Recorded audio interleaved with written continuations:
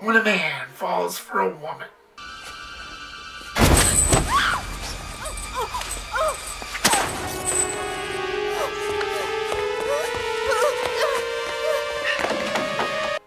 When he's persistent.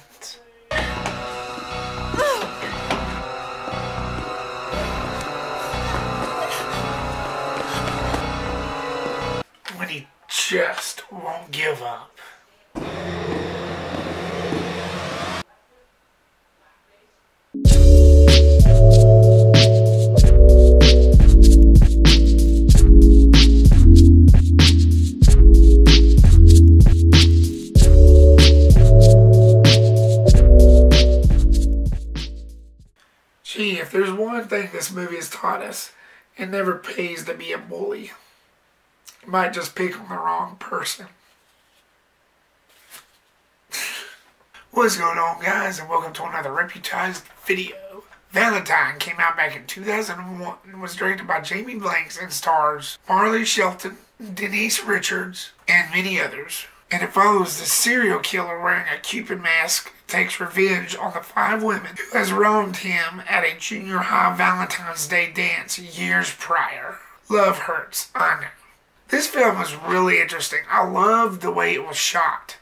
It had all the right ingredients for a Valentine's Day movie slasher film. Rick Bota's cinematography and lighting was done really well. It, it was very slick and glossy feel. Plus, it had that dark atmosphere like that a slasher should have. This film dealt with a lot of issues like female empowerment. It's usually the women that are objectified but the men in this was objectified and the women conquered. The writers of this film definitely made the women the bigger picture of this. It wasn't the guys, it wasn't the men. It was actually the women who overpowered. This was all about the girls. Pure and simple. It was a different take on the whole scenario. This film came out at a very specific time. This was before social media, so you didn't have Tinder you didn't have Facebook or MySpace or none of that. It did show scenes where they were on their computers searching around the internet, but the internet was far from being anything at that time like it is now. So it still had that 90s look because this was fresh off the new millennium. It was in 2001, so it was just two years out of the 90s. And about the uh, the social media, you didn't have all that stuff. So there was a scene in this film where they had speed dating way they perceived that, I was thinking to myself, people actually did that. That's what this film perceived. So now you have all these dating sites that you didn't have then. So then that's what they perceived everybody doing, which was kind of funny. but at the same time, more personal and you actually knew who you were talking to. The thing about online dating now, it's very scary. You don't know who you're talking to. There's a lot of impersonators out there that don't stay true to themselves. You could be thinking that you're talking to one person and then it being somebody completely different. And that's what's scary about nowadays. I thought the character development was done pretty well. You got Kate, played by Shelton, who's basically the final girl. She's got that innocence about her, that non judgmental quality. I think everybody would like a friend like her. So I thought that they did this character justice. Then you got Paige, who's the condescending, overbearing sort of. You'd love to hate her. She's snooty, she's full of herself, but she's also strong and very colorful and fun in some scenes. But you just love to hate her at the same time. Oh, and the killer, wow. The first few times when I watched this film, of course, at the time when it came out, I was young, in my young teens, I, I imagine. I was just getting into horror films at the time.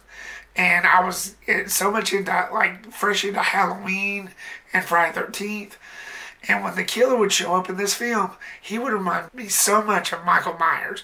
The way he would walk, the way he would perceive people, and the knife that he used, which was a butcher knife. And that's the same knife that Michael Myers would use. And I know this is kind of blowing it out of proportions, but one might assume that the killer is related to Michael Myers. But seriously, he was very menacing. I love the way they depicted the killer in this.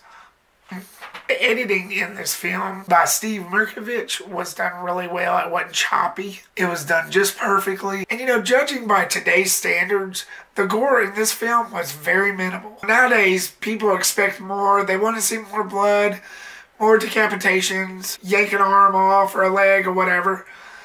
But this film was more psychological than anything else. And I think that's a lot of the problem with people nowadays. Not that I'm bashing movies that shows a lot of that stuff, I'm for it. Not to sound hypocritical or anything, but I mean, I enjoy both because I grew up around this time when this film came out, so I can actually relate. Now, the problems I had with this film is kind of mediocre, but I'll throw it out anyway. I really didn't get the whole nose bleeding thing. It showed the kid at the beginning of the film, which doesn't really give that much away, having a nosebleed at the beginning. And I guess I was supposed to mean something, I don't know. But it kept on throughout the film. So whenever the killer would kill somebody, the, the, he would actually nosebleed through his mask. And I never really got that. I felt that was kind of unnecessary, and I felt like they, they could have like set that aside.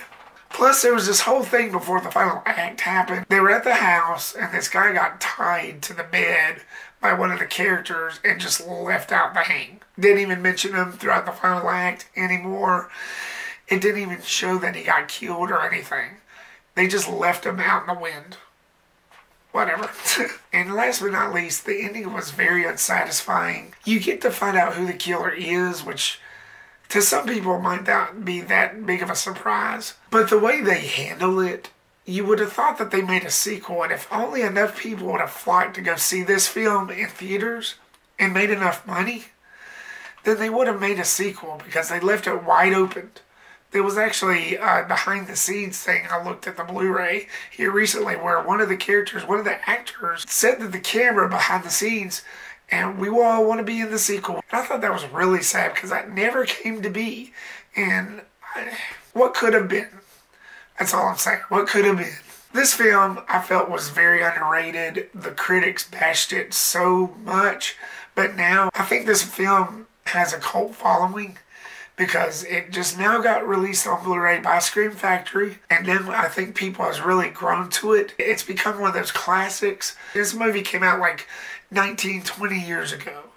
So I think the younger generation nowadays will enjoy this film for what it is. Valentine gets a B plus. I can see why critics kind of would bash it, but at the same time, I don't think it's that bad, y'all. I think it's still watchable. It's still fun. It's a really great slasher flick. There's not too much gore in it. It was more left to the mind. Director Jamie Blanks, who also directed Urban Legend, did the same thing for that film. It was more psychological and it was just more to the uh, imagination and purity of it. It's a good film. It's a good film, I thought. And anybody who's a fan of this film, pick this up. Whether it's at your local FYE or Best Buy, Walmart, or online like I did. It is definitely worth it.